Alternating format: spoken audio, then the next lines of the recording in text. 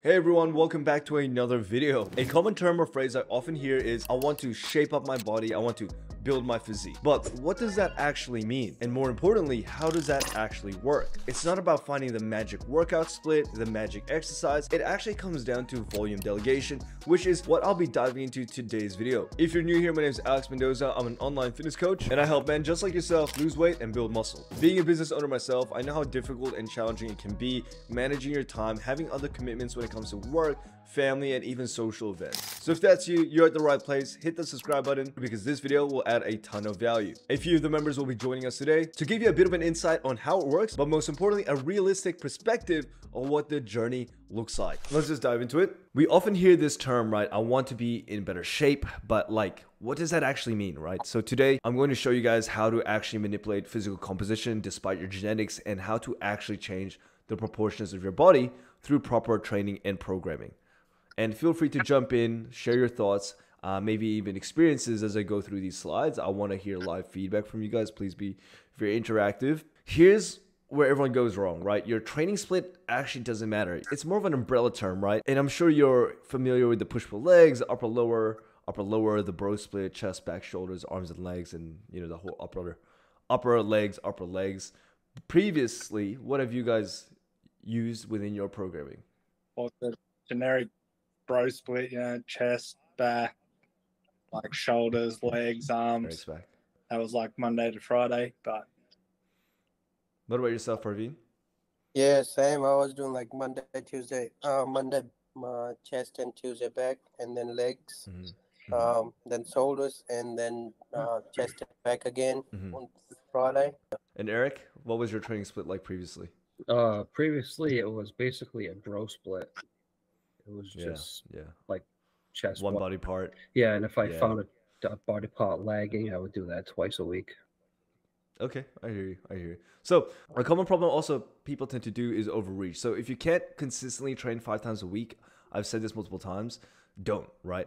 You don't need to be training six times a week, seven times a week either. So a lot of people fall off their program and find it difficult to follow these splits because they try to bite more than they can chew. We all have other commitments, whether that be work, family, we're suffering from time constraints.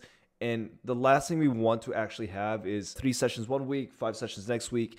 It just creates imbalances, which can lead to potential injury. But what I primarily focus on as well, on top of that, is proportions, right? If you're delegating more volume to your chest, obviously your chest is going to be a strong muscle group in comparison to your other areas. But our goal here is not to just put on muscle, we want to put on muscle in the right places to help amplify the aesthetic illusion, right? Broad shoulders, small waist. And that really comes down to a mixture of diet, but also a mixture of programming. And I'll show you how that works. So think of it as a as a tree, right? Our training split is it's like the tree stump. So for example, we have push pull legs. What your programming looks more like are the Yeah. roots of the trees, right? So you have push pull legs at the top, but what does it actually look like? How is the volume delegated? And here's an example. It might be two exercises delegated to triceps, three exercises delegated to chest, and two exercises delegated to shoulders. And we need to understand why and how we order that in priority and how that works. Yeah, as I mentioned, you know, each root is divided into more subgroups. So push as an example, and this this is what really matters. Like not only how many um, exercises are included per muscle group, but in comparison to how much you can recover from, how much you can maintain. So there's a bunch of other variables that you need to take into account when it comes to programming. This is why when we ask for the lifestyle analysis sheet submission to be as thorough as possible, specifically when it comes down to time, right? Because that will influence our programming. From there, decide where we need to spend more volume or delegate more volume and how will the future of the program look as well.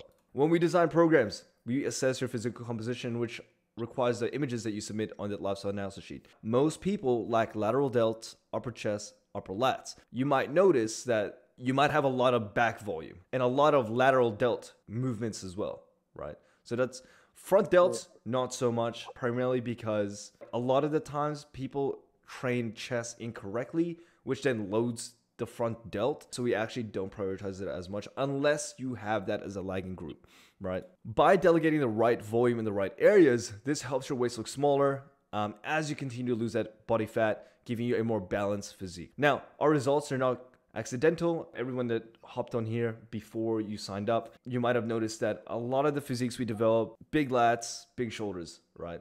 Because that's again, that's the look that we're all going for. And this really comes down to sorry. Dorito shape. Exactly, exactly. More, we want like a more, more so like an hourglass figure, right? Because we also you don't want to forget about the legs, right? Uh, so not just a Dorito, maybe two Doritos, but they're very specifically planned and curated based on your physique. There are a set of guidelines that you need to follow when it comes into programming, so we'll dive into that. I did create a training guide, which will be available soon. So I'll, for the people that will, will be watching this video, I will attach that in the bio. It'll be 15 USD.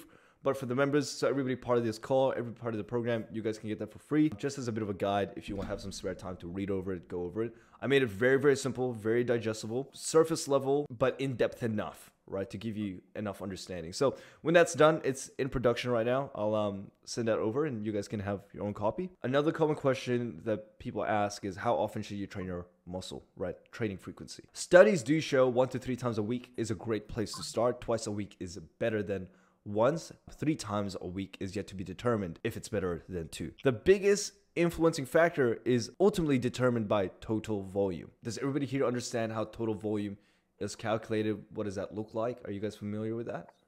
No, not me. No. No. Okay. No. Eric? Not Cool. really. Um, so total volume is an equation. It sets weights, reps, right? We can increase and manipulate total volume on a weekly basis by increasing one of those three variables. You'll notice in your programming, we tend to focus on the weight load increase per week. And we can no longer do that. We then transition into increasing rep count per week. Then when we can no longer do that, we then transition into a new phase where we add more volume through sets, maybe drop sets, depending on your time constraints. Is this sort of in regards to like progressive overload? Correct. Correct. That's how progressive overload works. It's an accumulation of volume on a week to week basis. However, where people go wrong is that they only pay attention to the numerical values. Just because your volume isn't going up through reps, sets, or whatever that might be, there are other ways you can manipulate volume. An example being slower tempo, or holding the contraction at the top of the movement longer, or even slower rest time. You might notice that some of you guys, each week, especially in the beginning, you get better at your contraction, you get better at mind muscle connection, that it becomes more challenging to progress. Now, just because the weight isn't going up, we will often ask you, hey, do you feel the recruitment better? And if your answer is yes, then we're okay with that too. Now, I did make a video, I think that was a video you guys watched, right? The 5x your results. Very insightful stuff. Because at the end of the day, I want you guys to walk out of here understanding why we do what we do so that you don't have to get another fucking coach later. Right? Like, we want to be your final solution. Obviously, accountability will be a forever thing. I still have a coach because I slack off sometimes. Just like you guys, I deal with a lot of stress when it comes to work and other commitments. I just want to be told what I need to do and I just go get shit done. Right. And I'm sure you guys are the same. Right. Yeah, it's a lot easier that way. It is, it is, it is. And that's like where the investment lies. You're able to allocate more brain function to making more important decisions. Now, other studies also state that it makes zero difference if the volume is the same. So there's a lot of information out there, and today I'll show you and explain what you guys can do and how we do so you know you understand it better. I do dive into deeper concepts on YouTube, so if you missed that video, watch this one. That's very insightful. I don't know if that's a video I go through when it comes into progressive overload, but these like recordings jam packed with value if you miss any in the future. So play them back. Another common question people ask is how many sets per week. Again, articles and papers state anywhere between 10 to 20 sets is a good range for hypertrophy, but there's also a lot of information out there. It really comes down to balance at the end of the day. It's about hmm. how much volume you can recover from, right? And ultimately, it is quality over quantity. So for beginners, what I used to do was program a lot more volume to compensate for the lack of experience. But now we thought, you know, it's best to just teach you guys how to do it right from the get-go. Especially if you have a busy schedule, we're not going to jam pack 5 sets, right? It's it's too much if it's done really right. But if your quality isn't there, it kind of compensates for that volume. So it's all about a balancing act. How is quality assessed, right? I'll dive into these terms a little bit deeper, but here's a couple of variables that contribute to execution quality. And this is we're very particular when it comes to tempo and RIR in our programming on the app. We're looking at RIR, RPE, which defines intensity, contraction quality, form, execution, time under tension, and range of motion. Are you guys familiar with these terms? Yeah. Yes. Cool. What was that, sorry, Parveen? Yeah, sort of. Yeah. Like Sort of. Is there anything you'd like me to explain a bit further Uh, into tempo. So tempo. what do you mean by tempo? Great question. So tempo, you'll notice on the app, you might see like three, two, one, two. Have you seen that yet? Yeah. Yeah, Yeah. the like the two one one two or That's two the one. two. yep, one. that's the one. And I don't remember off the top of my head the arrangement, but it's I believe it's the first digit is eccentric, second digit is pause at the bottom, third digit is concentric to the way up, and fourth digit is pause at the top. You can Google weightlifting tempo. There's a easy diagram to understand. Does that answer your question? Yeah.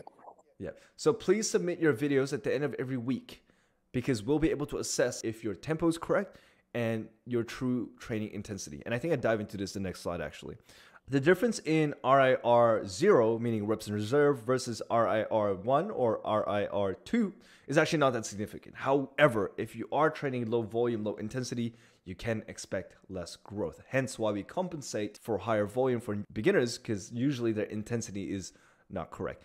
If you don't know what RPE is, you can also look up a diagram on Google. Simply Google RPE, and it will kind of give you a guideline of a scale of 0 to 10. But again, send through videos so we can assess and guide you through. Now, the reason we like to program for RIR uh, 0 to 1 is purely for work ethic. And also because people think they're training to failure, but they don't know what failure feels like, right? So we try to just get you guys to push yourself as hard as possible because oftentimes we tend to have one or more reps in reserve. The more advanced you go, you'll notice our programming parameters might be a little bit different, but we're talking, you know, six months time to a year's time, right? For me, I do two sets, train RIR1, but that's a more accurate representation of what RIR1 actually looks like. The goal is to get you guys there as well. Does this give you a bit more understanding on how your programming is designed? It's better getting the information in person instead of like sitting there trying to Google everything and Yeah. what, take representations from all those pages of just Yeah. drawings and writing.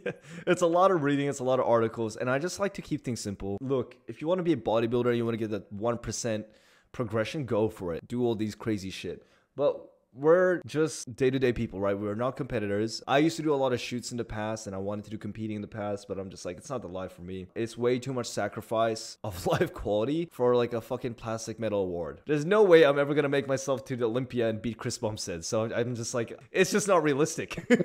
I rather focus on my life quality, my my business. Like these are the things that matter to me, and I want to look good and feel good throughout that process too. Because people treat you so differently when you have shoulders so circular, right? You just have so much more presence when you come to meetings, when you close sales. People just respect you more. Again, to remove the complications, I want to explain what we do, how it works. You know, kind of go from this to to that. And again, the midsection is purely just comes down to calorie deficit. For the people watching this, you cannot target or spot reduce fat. It just doesn't work. We can make the illusion faster by broadening the right areas, which again is the lateral delts and the upper lats. Your body is like a sculpture, right? I want you to look at volume like clay. The more you recover, the more clay you have. When you're sculpting a statue, you use different tools and you spend more time on finer details. You spend more time when you try to refine an area of clay or statue, right? Similar to exercises. So if you have a weak chest, you want to add more volume to your chest to keep things basic and surface level. In this situation, the only time I will say more is better, right? I rarely say that, but let me explain. When we create programs, there's typically three training phases. I dive into that a bit deeper in another video. I think it was I think it was the first video you guys watched, so make sure to revisit if you don't remember. This is where we where things might get a little bit more numerical. So if you do have questions, jump in. Phase one can include between eight to thirteen sets. I'm sure you have seen that in your workout program so far. Something between there. Now, hands up if you thought, "Whoa, this is so little." Uh, Yeah. No, Oliver was like, "This was sweet. I'm so glad I'm only doing eight sets." oh, that's awesome. Yeah, so Eric, I know you used to train a lot more, like very high sets. When we refine and tweak, you, you'll you'll experience it yourself um, through assessment and judgment. You will notice that it really is about quality over quantity, and you almost shift into a perspective of I only have two sets, right? Because I used to train five sets per exercise. It was so such a waste of time. But you're like, I only have two sets. It pushes you closer to that true mechanical failure, bringing your intensity up. Having said that, we never want to compromise form because the closer you train to failure, the easier it is to break your form, which makes it easier for you to get injured. So form is important, and you'll learn how to gauge that gap of mechanical failure versus true failure. Right? Do you guys understand the difference between true mechanical, fa- sorry, true failure and mechanical failure?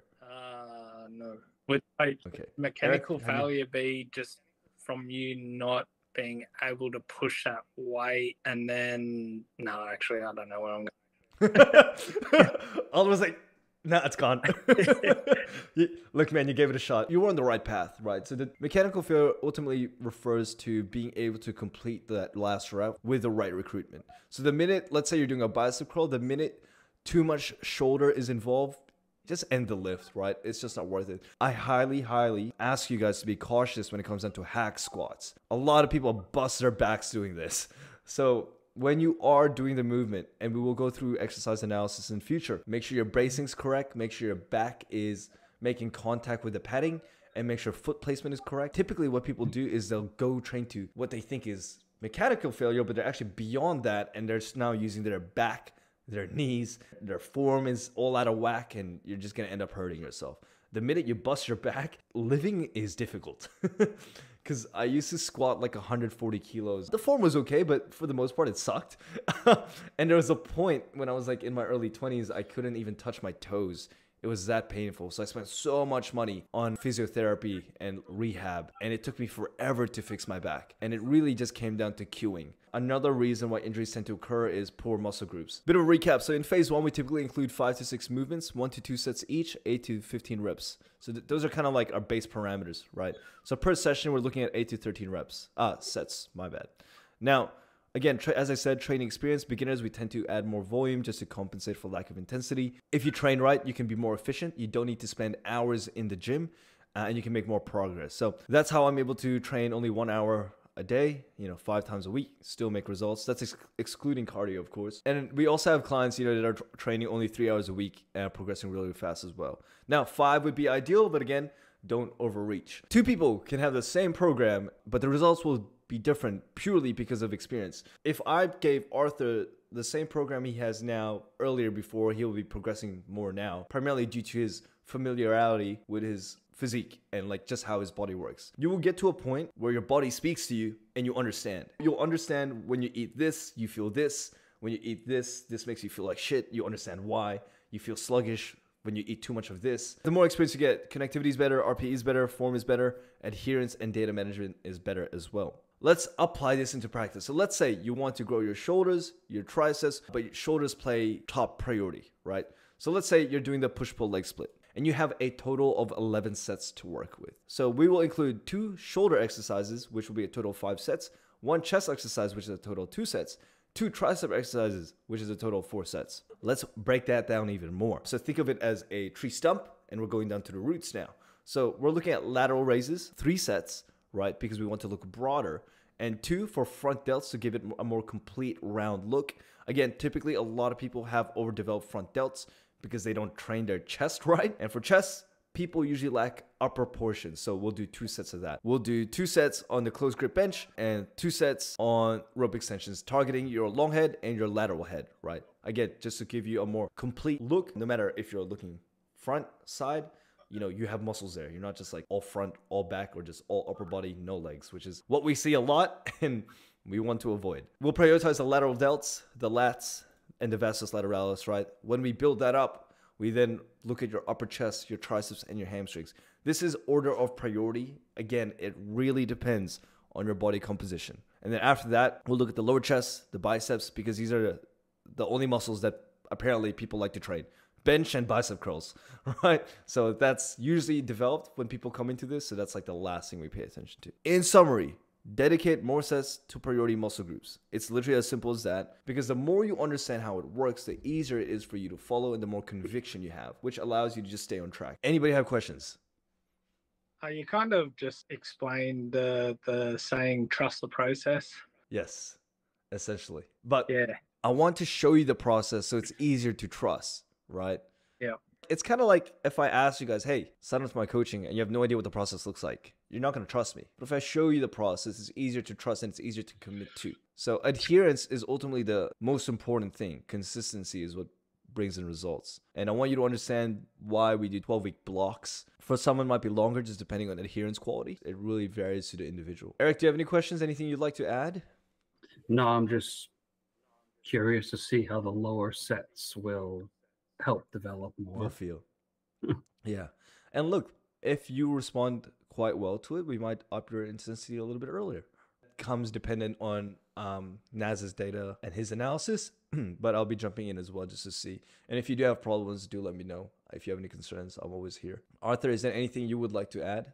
Yeah, I think it's it's really important to not only trust the process because it's a two-way thing. So you have to trust the process, and then from the client side, there's the adherence. So if you're not getting the results, you have to question whether you've actually it's consistent enough for a Mm. period of time to actually get the results because it's it's a combination of a lot of things. It's, you know, you have to trust the process, you have to communicate with your coach, you have to make sure that you're consistent with whatever you're doing to get the results. If one of that is not there, then the results will not come as quickly as you'd like. The biggest learning from me is to give it time because nothing comes overnight. So you just got to be really patient.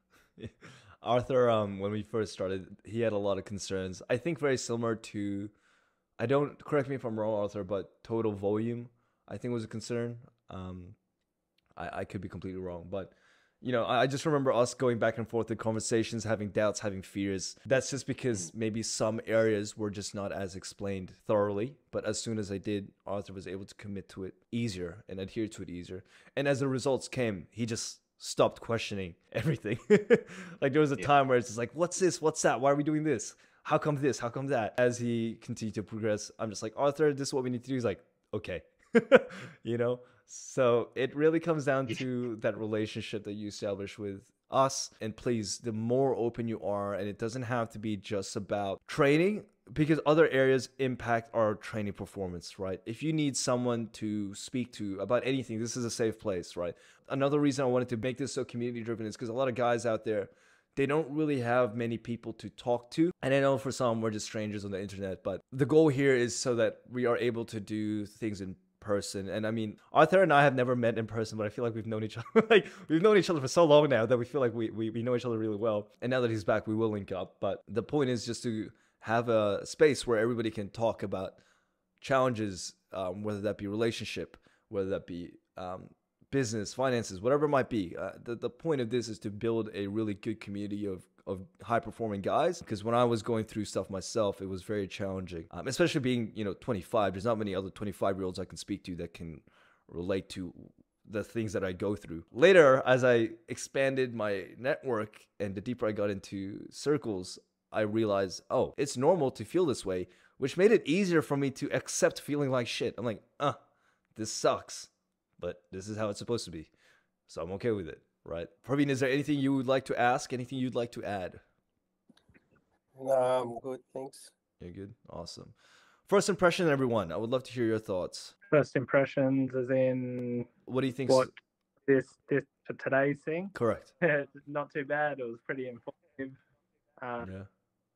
Great. and like I said earlier, it's just good to have like a face to talk to instead of Mm. looking at pictures and writing on screens. I think it's great. I think putting a face, like Oliver said, and seeing other guys who are in the same boat, going through the same thing, I think that that helps. it. The camaraderie, kind of sort of getting the hang of that. But I mean, just putting stuff there and just knowing that other people are in the same boat as you definitely helps motivate. And on the days that you have that you're feeling not 100% or whatever, you have the other guys to be like, oh yeah, I had, I felt like that yesterday, or yeah. it's okay, you'll bounce back, stuff like that. Just, just the, the guidance and basically friendships from around the world. Yeah. And I really want it to be a network that people can connect as well. But if there's anything else you guys would like to see in the future, please, I want to continue. I want to build this community, and the only way I can build it is through the feedback that you guys provide. You know, we've already done two inf- um, informative conversations back to back, so maybe next week we can go more emotional or psychological.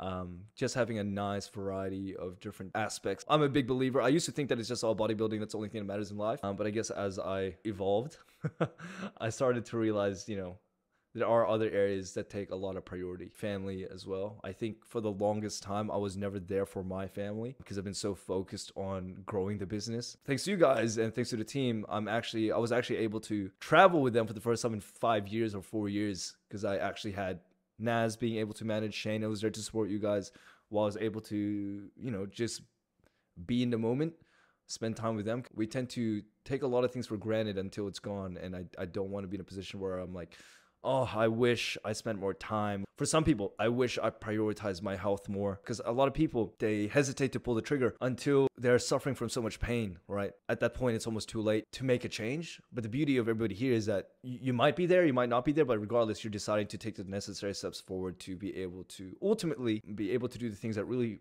we value. And I'm sure for you guys, yes, you want to look good, to feel good, but that stems a lot deeper into I want to be there for my kids. I want to show them how to be healthy. I want to have the knowledge and education to transfer it to other people, right? It's like building muscle and losing fat, whatever it might be is is very surface level. Like we want to be able to change and help you achieve your deeper desires. Some of you guys run businesses, some of you guys are dads, some of you guys are, you know, whatever it might be. We're all trying to do something deeper. Praveen, is there anything you would like to to add, share? Oh, this is my first um call. Yeah. It's very informative and you get more knowledge video calls. I think. Um, Yeah, yeah. more. Um, yeah. That's a point. Like the calls with Naz, it's like here's a feedback, here's what you need to do, here's some explanation. Um, and if we want to dive deeper, we can go here. I did want to add one of my clients actually requested for this type of uh, she suggested this and being female, I wanted to add just a quick touch up that for women, obviously we don't need to train the lower chest similar to the way men do. So similar proportions when it comes to women, but obviously allocation a little bit more in the glutes. But so, the the same elements, the same principles lie. That's all I wanted to say. So thank you to her for um, inspiring today's lecture. That's it for today. I, I like this because like that took us to 49 minutes and it wasn't like a lot of awkward ums and ahs and what do you guys want to talk about, right? Um, so smash it out this week, guys. Let me know how you go, Eric and Arthur. If you ever need anything, need any reviews or second thoughts or opinions, feel free to message me on um on Discord, bro. Always a pleasure to have you here, and we'll link up soon. Let me know when you're available. We'll wrap it up there. Thanks, guys. Have a good one. Nice meeting you guys. Enjoy. later.